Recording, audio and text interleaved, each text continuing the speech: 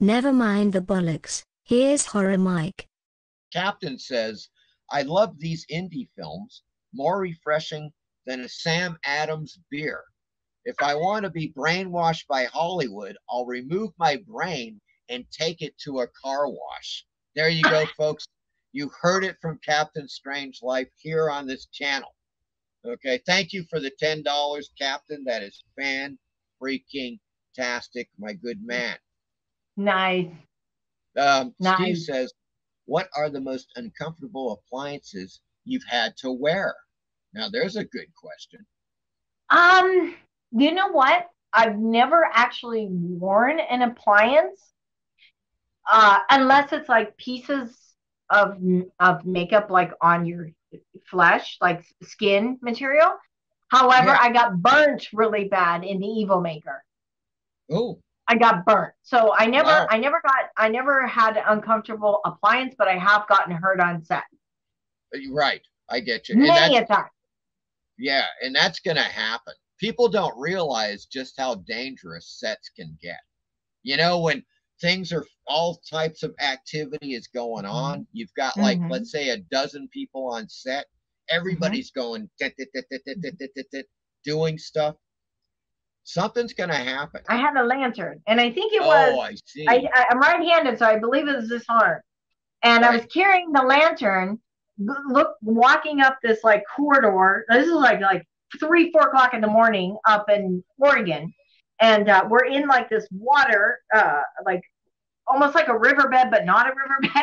But it was like underneath the bridge. So they put the bag of body parts, and the scene was I'm walking up and I discover the body parts. And in the process of it, you know, of course, I like jump back, and when I jump back, the lantern hit my arm and instant third degree burns, right? But I finished Whoa. the scene, and as soon as we were done, uh, we all ran up like I was like, fuck, you know, and then we ran up and put under cold water. As I'm standing there with my arm underneath the water, and the lantern was on the table and it exploded. Can you imagine if that thing would have exploded when I had it because it was a regular? Yeah. It got so hot that it, it exploded. Uh, Michael Taylor says Fangoria is still being published today. It is. Oh, it it's- is, it's- right? It's still going. It is still going. Creepy Pasta Poet says Steph has a has great content on her Scream Queen channel. I agree. I think it's very good. Uh, she made a short film a day for the entire month of October a few years back. They are amazing. She made them completely by herself. Excellent.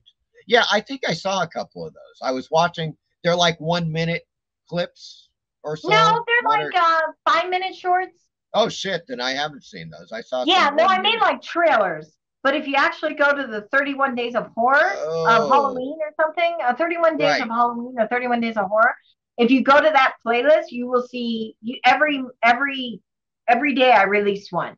So I shot them like in July and August, and then I released them starting October 1. And that was 2019.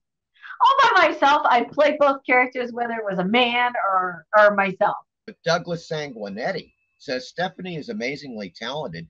She has done it all acting, writing, directing, producing, makeup. Yes, indeed. And we're going to get to those films shortly. Bug Spray Pump to the Heart was sung by Pat Benatar. And I think that that is correct. Uh, or it was Bon Jovi. One of the two.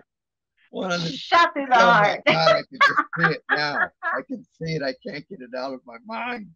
Uh, Tom says, kudos, Mike. This live stream is great. I love Scream Queens. Excellent, Tom O'Foolery. I'm glad you're having a great time.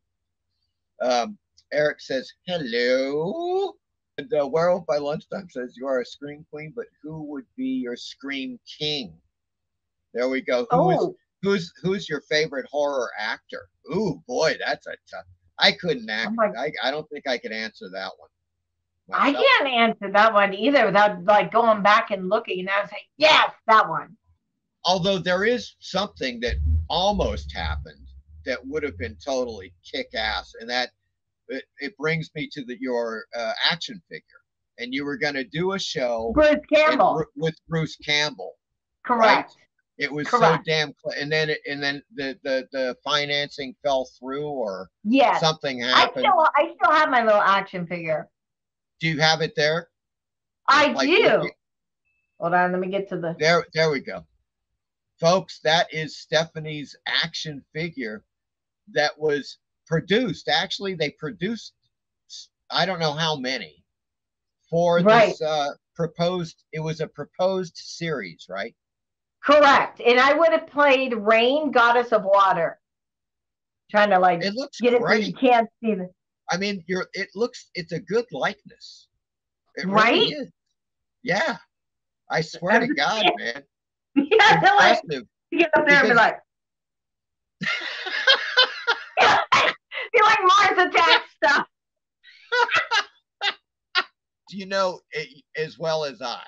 Some of the action figures they come out with that are supposedly the likenesses of the actors are just horrible. I mean, they look like nothing. I saw one of Elvira, and this was not even this. This was just. I was just at the freaking store. I was at Books a Million. I don't know if you guys have Books a Million out there, but it's one of those huge bookstores like Barnes We and don't Noble. you know, I don't if we do, it's probably in Northern California.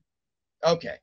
And uh, so they sell stuff like the action figures and all the accessories and stuff. And they sell, they have, I, I noticed they had an Elvira one. And I took a Oh close look at it and I was like, Jesus, man, that does, that face doesn't even look like it just bore little to no resemblance to Elvira. It was really weird. So Mm. that one I, I consider a success. yeah, know, right? And I now, just realized her hands are soft. Her hands are movable. oh, wow. They're very wow. soft. They captured your likeness. Yeah, they did.